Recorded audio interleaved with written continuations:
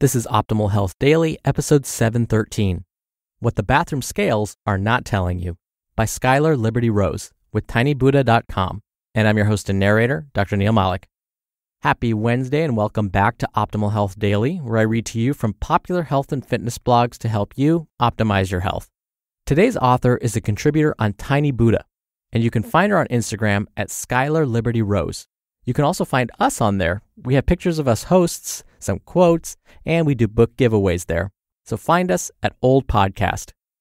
And it's the middle of the week, it's Wednesday, so it's time for a little bit of inspiration. Quote Every time you make a choice, you are turning the central part of you, the part of you that chooses, into something a little different from what it was before. C.S. Lewis. And what I love about that quote is it ties in nicely to what I was talking about earlier this week in episodes 711 and 712. We were talking about tiny little habits and how habits really are those things that define us. And if we don't make any changes, we can kind of sort of predict what our lives will be like in the future. But even one small change done consistently can change your life. So if you're new here or skipping around and want to know more about what I said about habits and things, check out episodes 711 and 712. But if you're all caught up, let's get right to today's post and start optimizing your life. What the Bathroom Scales Are Not Telling You by Skylar Liberty Rose with tinybuddha.com. Quote The only person who can pull me down is myself, and I'm not going to let myself pull me down anymore. C. JoyBell. At a recent visit to the doctor's office, I had some routine checks done. Afterward, the doctor flipped through the findings and said, Blood pressure, good. Pulse, good. Weight, okay. He then continued to talk about other things, but my mind was still on his previous words. Weight, okay. Why wasn't my weight good, like my pulse and blood pressure? I had managed to completely skim over the fact that my vital signs were absolutely fine. I immediately fixated on the physical aspect and added my own negative slant to it. There is so much that is so deeply ingrained within us that even when we are self assured, we still get caught off guard sometimes. A few weeks before the doctor's appointment, I'd gone shopping for a winter coat. I found one I liked, grabbed two sizes for comparison, and went to the fitting room. One size was slightly too snug under the arms, and the other gave me more freedom to move. But the better fitting coat had a label that read large, and I had a problem with it. I tried both coats on again, as though somehow expecting a different result. I told myself I was just making sure, just being certain. Once again, I determined that the larger size was a better fit, except this time I played it a little differently. Instead of just looking at my body shape and size in my reflection, I looked into my eyes. I reminded myself that I am a beautiful, empowered person who does not permit herself to be restricted by limiting labels, and who does not measure her self worth by numbers. And off I went to the cash register smiling. Both experiences gave me a bit of a wobble, but I was also grateful for the opportunity to remind myself of what truly matters. It can be challenging at times to keep our confidence intact because even when we deflect the worst of what some of society and almost all of the media tries to throw at us, occasionally it finds a way through. Yes, I could be slimmer. I could say no to the glass of wine or the homemade fudge. I could, but empowerment alert, I don't want to. I choose my life all of it. I choose the thoughts that I feed my mind, and I choose the food that I feed my body. I strive to ensure that I'm in balance. There is a space between greed and deprivation, and I, mostly, live there. Sometimes I wander. I'm okay with that, because honestly, it's better for me to visit both directions occasionally than to be bent on staying firmly in the middle. I follow a plant based diet and I exercise every day, but I don't want to be fixated on a so called ideal and unrealistic image that doesn't allow me to enjoy my life. Sometimes a little loss of control is good for the soul. Like many of us, I used to obsess about my weight.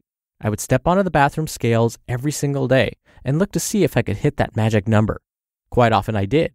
I also had a variety of hospital trips that unearthed low blood pressure, repeated urinary tract infections, and a brutal inner ear infection. And that's why I went to the cash register with a large coat and a larger grin. The bathroom scales cannot tell me how much my contribution to this world counts. They cannot tell me the density of the passion I feel for what I do. They cannot tell me the value of my cherished relationships. What if we stopped measuring our waistlines and started measuring our magical moments? The ones where we laugh like lunatics with our friends. The ones where we look down and find our hand wrapped in someone else's.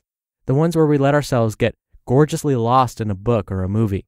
The ones where we fill up on love and get dizzy drunk with happy. Will you get to the end of your days thinking, I'm so glad I spent all those years sucking in my stomach? Or will you smile as you remember how much you enjoyed creating precious memories? Will your final thoughts be that you wish your thighs had been slimmer or smoother? Or will you just be grateful that they carried you? Will you ponder on what everyone else thought of your life? Or will you just think, I'm glad I did it my own glorious way? I may have the odd moment of self doubt, which is basically known as being human, but there are many, many more moments where I remembered that I've come a long way since being that younger, slimmer, unhappier, less confident person. I now have a wonderful weapon, an empowered mind. And believe me when I tell you, that doesn't play small. You just listened to the post titled, What the Bathroom Scales Are Not Telling You by Skylar Liberty Rose with tinybuddha.com. And Tiny Buddha has some great books on their site. I'd recommend checking out the Tiny Buddha Gratitude Journal. It has questions and prompts for both your past and present. You can find that at tinybuddha.com. Now, to be clear, I can feel pretty confident that the author isn't saying, well, just be happy with yourself, even though you may not be the healthiest person that you could be. Instead, what the author is saying is don't be obsessed with it. So sometimes what happens is folks will say, well, I'm happy with myself, even though I have high blood pressure, I have an increased risk for all these diseases, my blood sugar's way too high. And again, the author is not saying that you wouldn't want to try and improve those things. You just don't want to become hyper focused on imperfections. Be the best self you can be. I think that's what she's trying to get at. And if I were to get more technical about that scale, it's so true. The scale doesn't tell you so many things. And if we just think about straight numbers, the scale doesn't tell you how much muscle you have versus fat versus water versus your skeletal structure. It just gives you a number. And so it's easy to get disheartened by just looking at that number on the scale. If we don't dig a little deeper and maybe measure our waist and our hips and see if those have decreased, or if we don't check our body fat percentage, the number on the scale really doesn't tell us a whole lot.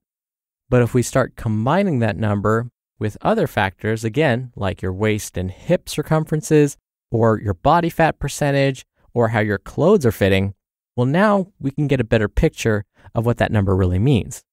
I've experienced this many times where folks will come to me frustrated after I've been working with them saying, the number on the scale isn't going down. And then I'll say, well, how are your clothes fitting? Oh, they feel great. Well, okay, then we're actually making some progress. You probably built some muscle and lost some fat. That sounds like a good thing, right? So, yes, the number on the scale can be definitely misleading in a more concrete way, but also, as the author mentioned, in a deeper, more emotional way. All right, really quickly before I go, if you're on Instagram, come follow us at Old Podcast. We do book giveaways there, share pictures showing where you're listening from, post quotes from the contributing authors, and lots more. Again, you can follow us at Old Podcast. I thank you as always for listening. I'll see you back here tomorrow with a post from Healthline and where your optimal life awaits. Hello, Life Optimizer. This is Justin Malik, creator and producer of this show and Optimal Living Daily, the brother podcast of this one. Literally, I'm Dr. Neil's brother. If you like the format of this show, you'll love Optimal Living Daily too, where I also read to you from blogs, but cover other topics like personal development, finance, and minimalism from bloggers like Derek Sivers, The Minimalists, Zen Habits, and many more. So for more amazing content read to you for free, come subscribe to Optimal Living Daily too, and together we'll optimize your life. You've been listening to Optimal Health Daily. Be sure to hit the subscribe button to stay up to date on each new episode and head to oldpodcast.com that's OLDpodcast.com for a free gift, as well as more actionable tips and resources to help you maximize your potential. Thanks for joining us, and remember, your optimal life awaits.